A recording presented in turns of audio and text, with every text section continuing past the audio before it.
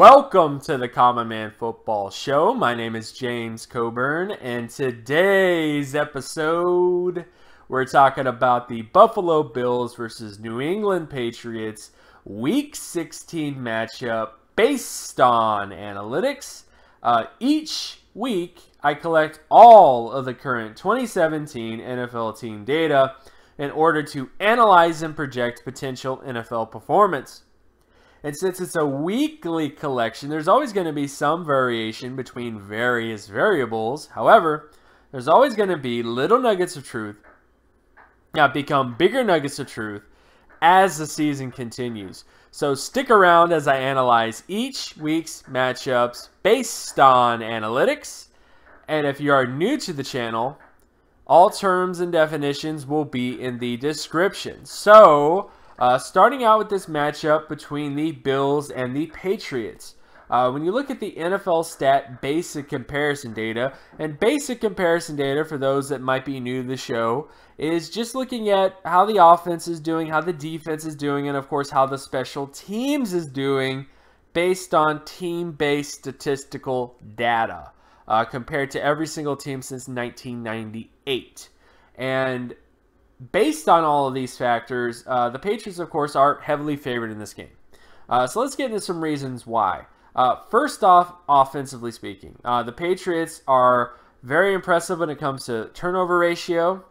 Uh, much you know much more impressive than the Bills. They're also better when it comes to sack percentage, so they don't allow as many sacks compared to the Bills, and that's been one of the major issues with this Bills offense this entire season has been their sack percentage. Uh, and that's continued to be an issue going, you know, up to this point.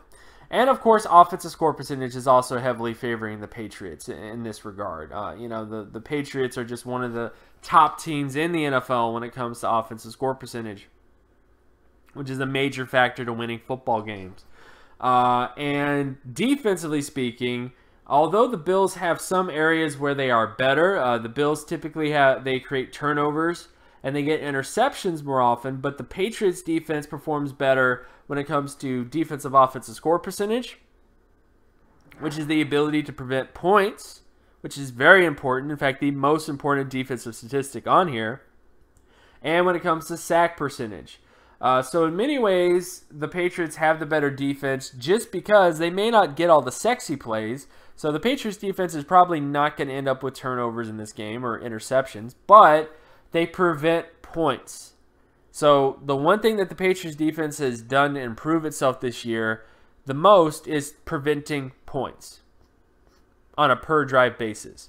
Uh, so that's definitely kind of the thing to kind of consider as well, which is another reason why the Patriots are favored, is that they just have the better offense and the better defense when it comes to what counts the most to winning.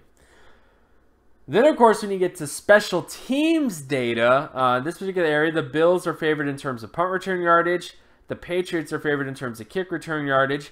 Defensive punt return yardage and defensive kick return yardage favor the Patriots as well. Field goal percentage favors the Patriots. Uh, extra point percentage favors the Bills. And punting average favors the Bills as well. In terms of who has the better special teams, it's it's pretty obvious. It's the Patriots. Now, uh, the reason why is because of the field goal percentage. As I tell you guys every week, or at least I try to remind you guys every single week, the most important statistic in terms of special teams data is field goal percentage. It's the most practical, it makes the most sense. If you have a field goal kicker that can consistently hit three pointers more often than the other team, then you're just going to end up winning more football games. You know, because if you miss three points, you're not putting points on the board. You're making it less likely for you to win that football game if you don't put points on the board. You know, it's pretty. It's it's it's that simple at times. So, uh, again, when you look at most of the special teams data, it does favor the Patriots, mainly because of that field goal percentage data. So, on offense, the Patriots are favored. On defense, the Patriots are favored as well in terms of uh, a category that really matters in winning, and the same holds for their field goal percentage. And that is why the Patriots are so heavily favored in this game. Now, when you get to some other sort of data points, uh, so now we're getting into um, some micro data, situational football, as Bill Belichick likes to put it at times. Uh, looking at completion percentage data between the Bills offense and the Patriots defense. Uh, the Bills are favored in terms of first and third down when it comes to completion percentage. So definitely these areas are, are where the Bills are going to be favored the most. uh, in terms of the Patriots defense, uh, you know, kind of having issues. Uh, and then, of course, we look at the Patriots offense versus the Bills defense, and the Patriots just have kind of a clean sweep on first, second, and third down. So, again, the Patriots offense is going to have a lot of success in this game. Uh, I mean, it just looks that way based on all the data. Uh, then, of course, you get to rushing downs between the Bills offense and the Patriots defense.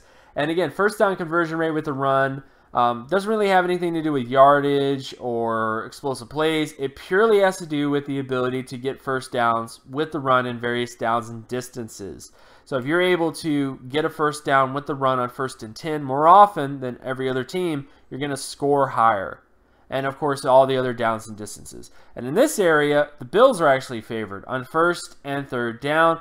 The one defense, the one aspect of the Patriots defense that continues to be an issue is their run defense run defense doesn't really matter as much to winning football games as much as pass D does.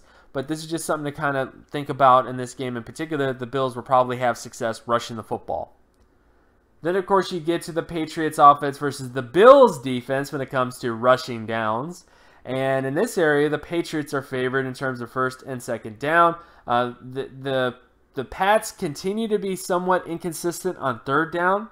Uh, but definitely more so favors the Pats in terms of first and second. Then, of course, we get to passing downs uh, between the Bills offense and the Patriots defense.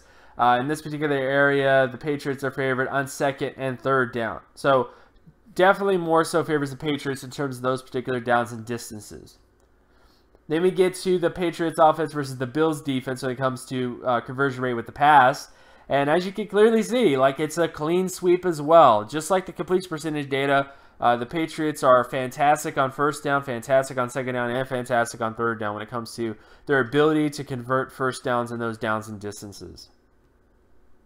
Then we get to sack rate uh, between the Bills offense and the Patriots defense, where surprisingly the Patriots are favored. Not by a heavy margin, but when you look at first down, the Patriots are a little bit better in terms of getting sacks in those situations. And when you look at second down, the Patriots also a little bit better as well in that situation.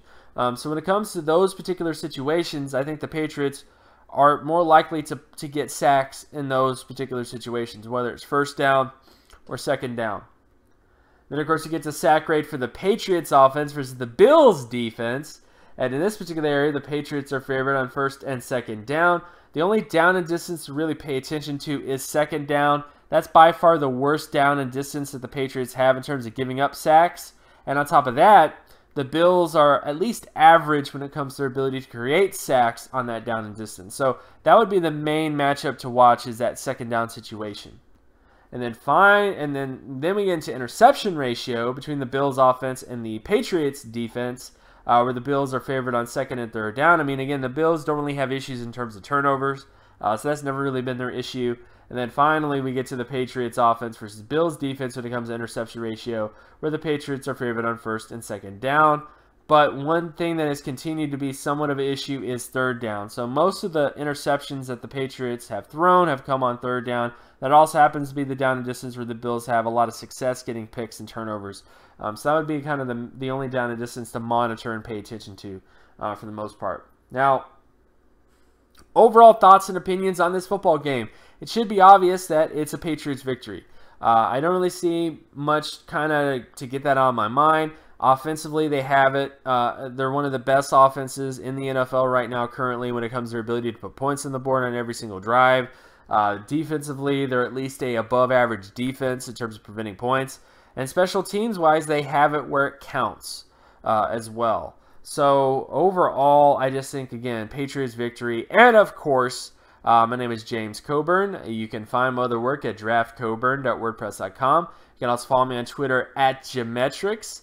And if you like this content and you want more content like this, uh, be sure to leave a like and subscribe. Uh, share this video as well uh, with anybody that you know. Uh, hit that notification button so that I'm always reminded, uh, uh, or so, so, that you're always reminded when a new video of mine comes out. And I will talk to you guys in the next video. Peace.